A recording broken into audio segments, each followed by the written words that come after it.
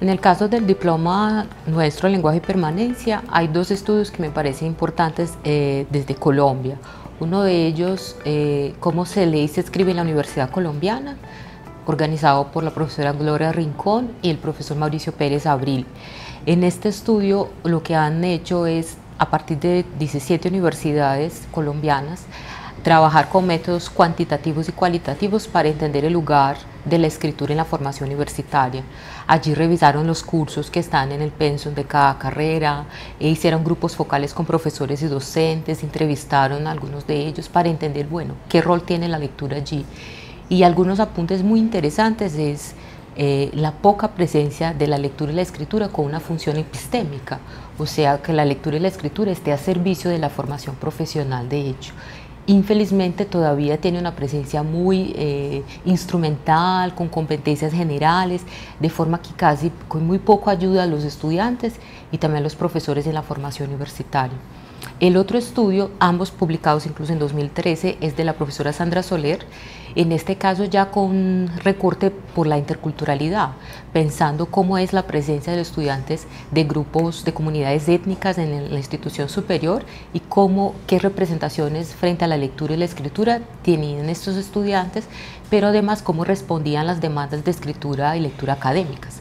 Eh, ambos estudios dialogan con el campo de estudios de literacidad, con una preocupación por la didáctica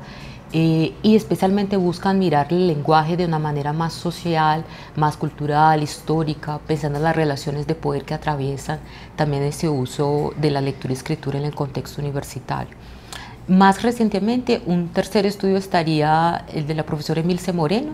que analiza ya experiencias eh, con un abordaje etnográfico, experiencias en cuatro áreas del conocimiento, analizando allí cuáles son las prácticas exitosas o buenas prácticas que vienen desarrollando profesores con sus estudiantes en términos de la enseñanza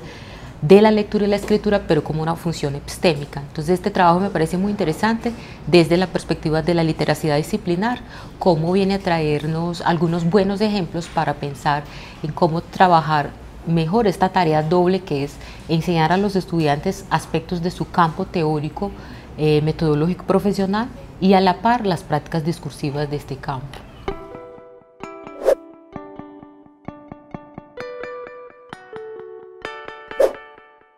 Hay un muy fuerte en Latinoamérica que es la alfabetización académica con la profesora Paula Carlino, es una muy importante en este campo que está muy cercano a lo que en Estados Unidos, en la región angla, se llama del WOC, la escritura a través del currículum, podríamos decir. Eh, está el campo de literacidad académica, que viene de la tradición de los estudios de literacidad, una perspectiva más lingüística, antropológica, discursiva, frente al uso de, cultura, de la cultura escrita, el uso de la escrita, de la escritura, perdón. Eh, y está el campo que va fundiendo algunos de estas, de esas dos tendencias, que es de literacidad disciplinar, eh, y que allí va a aprovechar toda la discusión de literacidades, de la vertiente más etnográfica, eh, pero articulada a una comprensión de los usos de escritura muy, ah, muy específicos de las disciplinas e incorporar un poco las preguntas desde lo didáctico que está en la alfabetización académica. Entonces, esas tres tendencias son muy fuertes en los estudios de la de la discusión de lectura y escritura en la universidad. Pero de hecho este tema eh, es un tema en que diferentes áreas han abordado y discutido, aunque los estudios del lenguaje tienen una tradición más amplia allí. Eh, el campo de, la educación se pregunta, incluso el tema en campo de las ingenierías. Por ejemplo, en 2017 hubo un encuentro en Bogotá, un congreso de el RAP llamó la escritura a través de las fronteras o algo así, que justamente se preguntaba por la escritura académica. Y allí era muy interesante cómo convergieron investigadores de diferentes áreas, de las áreas más variadas.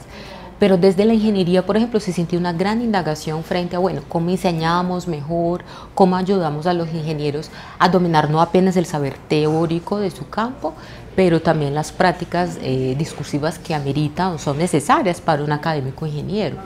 Entonces, eh, me parece importante entender que la lectura y la escritura en la universidad, diferentes campos lo están abordando. Estas son algunas fuertes tendencias que tiene una fortaleza porque tiene el lenguaje como su objeto de estudios. Eh, también emerge una otra tendencia mm, no tan fuerte, pero que allí está, que es de la lectura y el de escritura con función epistémica. Hay algunos estudios en esta línea. Eh, y en que yo diría que hay esas cuatro tendencias en que se, se encuentra mucho, tanto la alfabetización académica cuanto literacidad académica, literacidad disciplinar y este campo de la lectura y escritura con función epistémica, crea una ruptura con la visión del lenguaje o de lengua como una, algo instrumental o una estructura pasan a ver el lenguaje como algo identitario que se relaciona con nuestra forma de pertenecer a las comunidades, con la relación que tenemos con el mundo, con el otro. Entonces en el tema especial de cómo los estudiantes se forman en la universidad y se vinculan a los campos disciplinares en que están formados en sus carreras, allí atraviesa también un tema de lenguaje muy fuerte y que está mucho más allá de, de, algunos hablan es que es un tema técnico, no, es mucho más allá de un tema técnico o de aprender a escribir una carta. O sea, aquí está en juego es, bueno, yo sí sé hacer el caso clínico como un buen odontólogo, un buen médico, y eso qué efecto tiene en mi vida profesional y en la vida de la gente que afecta mi escrito.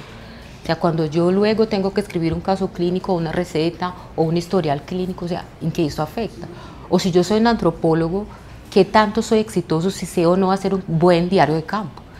O si soy maestro, qué tan buena es mi planeación, mi plan de clase, mis evaluaciones. Entonces, los escritos están en todas las carreras. Y el éxito mayor o menor, o, la incorporación o vinculación, la permanencia que los estudiantes pueden tener con la universidad, también pasa por la medida, eh, pasa por cómo los estudiantes pueden apropiarse de una mejor manera de, esos, de estas formas de usar el lenguaje. Eh, la pregunta es cómo los profesores los estamos enseñando y si estamos haciendo. Y ahí hay unos, eh, en el campo, por ejemplo, de literacidad académica, hay un concepto muy interesante de una investigadora que se llama Teresa Lillis, eh, es inglesa, y ella va a hablar de las prácticas institucionales del misterio, de cómo la universidad hace cosas que nunca explicita y nunca enseña, y que cree que los estudiantes, por estar viviendo en la universidad, los tienen que aprender. Eh, y eso se, se transmite, es una manera de entender, es una ideología que pasa a ser naturalizada. Entonces los colegas lo que dicen es, ah, no, los estudiantes que se defienden ya son grandecitos, ya deben haber aprendido en la escuela, eh, cuando en verdad la universidad tiene que enseñar también los escritos que son de aquí. O sea, la escuela tiene una función social, pero la universidad tiene otra. Los estudiantes no pueden aprender en el colegio a hacer caso clínico porque eso no tiene sentido en su formación de la educación básica. Coge sentido en el contexto de la formación universitaria. Entonces, esta visión social y cultural del lenguaje va a decir que los escritos que hacemos y los usos orales o escritos que hacemos, como usamos el lenguaje, tiene que ver con los contextos sociales en que estamos insertos y los usos que estamos haciendo de ellos en este momento histórico, pero además en este contexto institucional, con los participantes de este evento en que estamos. Entonces, allí hay unas preguntas muy importantes a hacer frente a cómo maestros eh, docentes universitarios que somos maestros, estamos ayudando a los estudiantes a desvelar estos misterios frente a cómo se usa el lenguaje en la universidad y de manera más, eh, eh, después más especial, más específica dentro de su disciplina. Todo el tema de los lenguajes especializados entran allí. el tema, bueno, de cómo luego yo derivo mi formación en un trabajo de grado. Pero antes del trabajo de grado hay diferentes otros escritos que también hay que aprender, o lenguajes muy especializados como un lenguaje matemático, por ejemplo.